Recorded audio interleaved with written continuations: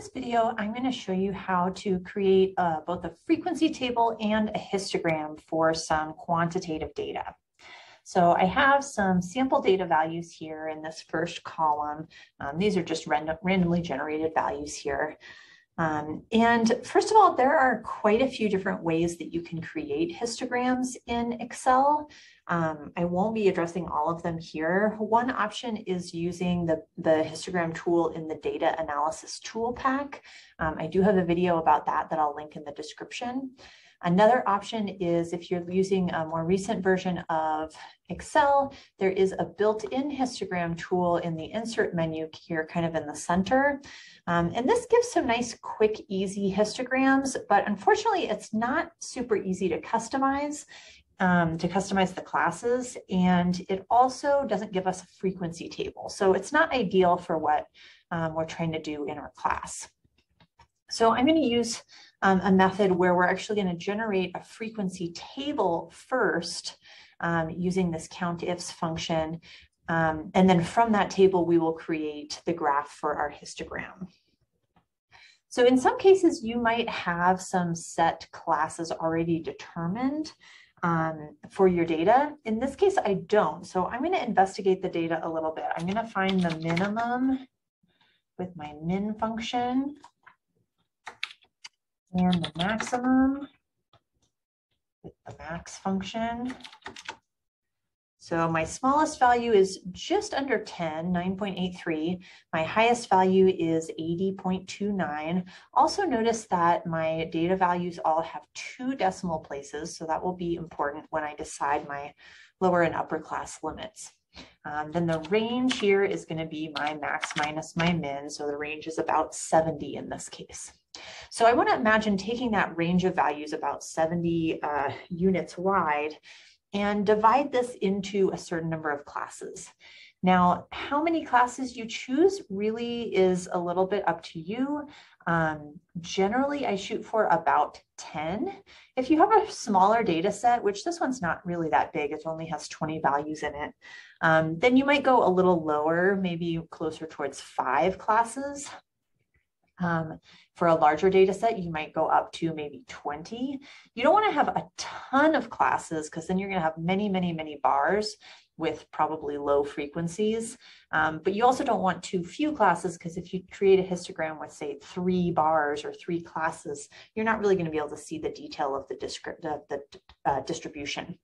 So I'm just going to say uh, maybe around 10, maybe slightly less because it's smaller, eight, something like that. Um, if I went for eight, uh, if I want eight classes, the class width, sort of the exact class width, dividing this into eight pieces, would be I would take the range of the values and divide it by how many classes I want. So 70 divided by 8. This gives me 8.8. Now, I don't want to use 8.807928 for my class width because that would give me really strange classes. Um, so I want to kind of round this to a nice number. Now, there's no exact rule for this. Um, here, I could round this to nine, which is the closest whole number. Um, width of nine would be fine, although it's again going to give us kind of strange uh, ranges of values because we're going to be counting by nines. I might opt to do up to 10 here since that's a nice even number. Um, because I'm making this class with bigger, that means I'm going to have fewer classes. So I aimed for eight. I'm probably going to have, you know, six or seven or something, something along those lines, um, probably about seven here. Uh, so I think that that's reasonable. If you wanted to have more classes, then you might go smaller. Maybe I do five and get more classes. But because this data set is relatively small, I don't think I want a ton of classes. So I'm going to go with class width 10. So that means that when I'm setting up my lower and my upper class limits, the difference between one class and the next is going to be 10 every time. So I'm going to kind of set this at 10 here. Um, I also need to determine where should my first class start. Now your lower class limit could in theory just be your minimum value. Um, you have to have something that's at your minimum or below so that you can make sure you're containing all the data. 9.83 would be a strange place to start my interval though. Um, I could start potentially at nine and have it be a whole number. Um, but because my class width is 10, I think I might actually just start this at zero and then count by tens. So I could just do 10, 20 here, but I'm gonna use Excel to fill this in. So I'm gonna do an equals, click on my previous lower class limit and add 10 and then I'm going to drag that formula down. So this is using, again, the formula previous lower class limit plus 10 here, um, and then dragging this down. This is giving just counting by tens up to however far we need to go. Now I'm going to figure out how many of these we need. Our maximum is 80, so this 90 should be um, unnecessary, but I'm just going to fill this in to make sure I have enough classes. And then the upper class limit, I'm going to decide what that first starting one should be. This needs to be a number just less than 10 because my next class is going to start at 10. I don't want to actually put 10 here because then the number 10 would fall into both the first class and the second class. So instead, I'm going to go just under 10, 9 point something, and I need two decimal places here because my data has two decimal places. So 9.99 would be the number just before 10 if we're rounding to two decimal places. And then just like before, I'm gonna count by 10. So adding 10 to that previous upper class limit means that my second class will go from 10 to 19.9 and then from 20 to 20.9 and so on, or 29.9 and so on. So I'm going to drag my formula down. Um, and this is giving me the ranges. Now again, looking at my maximum value of 80, 80.29 is going to fall into this class here. So this last one from 90 to 99.9 is not necessary. Um, if you need to, you might have to add some more classes, right, if you didn't get enough. Um, but just make sure that your starting class and your ending class are appropriate to fit the whole range of values you have. So this actually ends up with um, nine different classes. So my desired number of classes was eight. I have slightly more than that. That's okay, no big deal. Um, now, in addition to the lower class limit and the upper class limit, I also have a column here for the class. So this would be like the range that each of these classes represents. In order to fill this in, I could just type these out, you know, 0 to 9.99, right? I basically just want these ranges corresponding to the lower and upper class limits. So you can type them all out if you want to, but if I want Excel to do my work for me, I'm going to use a function called concat. Concat is short for concatenate. There is also a function called concatenate, which will actually do the same thing here. Um, they're similar functions, but the concat function is a little newer. Uh, and so I'll go with this one. So I'm going to do equals concat and then a parentheses. Um, and what this function does is it takes uh, pieces of text and just kind of sticks them together. So I want to start with my lower class limit. That's in my case G7. And then I'm going to do a comma and I'm going to say stick this together with a dash. So for the dash, I need to put this in quotation marks to make this um, a little bit of text. So I'm saying take the zero in G7, um, stick it next to a dash, and then I'm doing another comma after that dash in parentheses, and then I'm going to stick on my upper class limit. So here's what my function looks like. And when I press enter, it'll show the 0-9.99 that I wanted. Now, because I set this up with my cell references for the 0 and 9.99, I can now drag this down using the bottom right-hand corner, and it'll do the same thing for all of my different classes. This column here is not really needed in order to count the frequencies or create the frequency table. This is just going to be here for labeling purposes later. Okay, so once I've determined these classes and I have everything set up, now we want to go through the work of actually finding the frequencies for each of these classes. So again, what this means is how many of our data values in the data set fall, in this case, between 0 and 9.99. Now I can tell just by looking at this data set that there's only one of those values. This 9.83 is the only value that comes out less than 10. So I expect that this frequency will be one. But I don't want to do this by hand because my data set might have hundreds or thousands of values in it. So I want Excel to count this up for me. Um, there are, again, multiple ways to do this, but I'm going to use this function called count ifs. So count meaning count and ifs meaning if such and such is true. This is giving conditions on what numbers we want to count. Um, in this particular case, I want to say count up all the numbers that are bigger than zero or greater than or equal to zero and less than or equal to 9.99.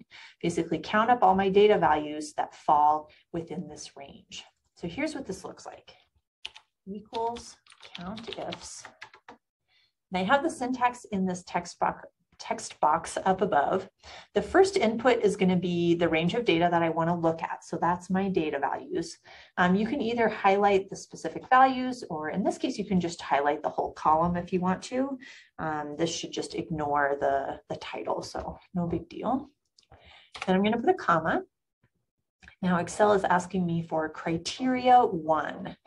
Now the criteria, the first criteria I'm going to use is that this number has to be greater than or equal to my lower class limit. So for the greater than or equal to, I need to put this in quotation marks. So quote, greater than symbol equals, that's the greater than or equal to, and then end my quote. And then I'm going to put an ampersand here. Um, this is actually the same as the concatenate function we saw earlier. This is going to stick together that greater than or equal to with my lower class limit. In this case, that would be the zero. You could type zero in here, but of course I want to click on my cell um, so that I don't have to type this out for every single row. So this is basically saying, look in column A, and count how many of the values in column A uh, are greater than or equal to zero. That would actually be all of them. But I want to add another condition too, comma.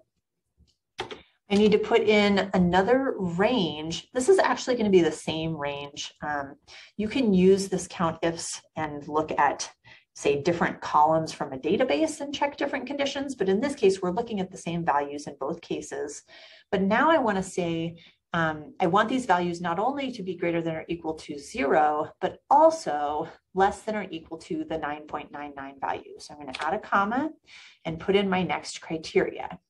So this one is quote, less than equal quote. So my less than or equal to, end my quotes, put in my ampersand, and then I'm going to put my upper class limit. So I want this to be less than or equal to 9.99 in this case. And then I'm going to close my parentheses. And when I press enter, it tells me frequency one, which is exactly what I expected. There's just one value in this list that falls um, between zero and 9.99 inclusive. All right, so this is kind of a, a, a big mouthful function here. Um, but once we've done this for the first uh, class, we just need to do the exact same thing for all the other classes. So I can just take my function, my formula here, and drag it down and find the frequencies of all of these different classes. So these last two bars here, this really is our frequency table, right? We've got each range of data values and how many data values fall within that range. So for example, the 50 to 59.99 class is the one with the highest frequency. There were six numbers in that range. Um, and then we have something that looks a little bit like uh, maybe a normal distribution around that. Um, if all you need is a frequency table, then you're done. If you also want a histogram, then I'm going to create a graph from this little table. So I don't need the whole table, I just need the class labels, sort of these ranges, um, and the frequencies. So I'm going to highlight those two and then go to the insert menu. And then I'm going to put in just a basic bar chart or what the what Excel calls a column chart. So I'm going into the top left first option here. I'm not using the histogram tool. This is just a regular bar or column chart. And you see that along the horizontal axis, I have each of these classes labeled as a range, and then the height of my bars um, is the frequency, which is exactly what I want for a histogram. Uh, now I do need to make some modifications to this. One is I need to add uh, labels to the two axes. So I'm going to go um, under the Chart Tools Design tab to add chart element over here on the left. And on the axes titles, I'm going to add a horizontal one and a vertical one. Um, and then you want to label your horizontal axis with whatever makes sense for your data. This data doesn't really have any units or anything, but Generally, you want to describe what's the data shown in this graph and what units does it have. The vertical axis is always going to be frequency. Um, you could call it something else like count or something like that, but typically histograms are always going to be labeled as frequency. And then I'm going to give this a better title as well. You might call it the distribution of whatever your data is or histogram or um, something that's describing what, what data you're looking at. The other thing I want to change um, that sets apart a histogram from a bar chart is that I don't actually want gaps in between these bars. Um, for categorical data, that makes sense, but because these are ranges of values, I don't want these gaps. So I'm going to double click on one of the bars, it doesn't matter which one, and I'm going to get these settings showing up on the right, this format data series. I'm going to choose the option with the little bars and then go to the gap width, which is right at the bottom, and shrink that gap width down to zero. Now, I do still have some gaps in my data, and that's because some of these classes had a frequency zero, so a couple in the beginning and one towards the end. That's perfectly fine. Um, what I don't want to see is just gaps in between each class um, on their own. And you can also modify, you know, the style of the chart if you want with some of these chart styles. You can change colors, you can change other labels, and etc. Um, but this is a perfectly fine histogram for me. Um, something you might want to do, especially since many of our bars are the same, is if you double click on the bars and go to the fill, you can also give the bars a border which just kind of gives an outline to those bars. So it could be useful.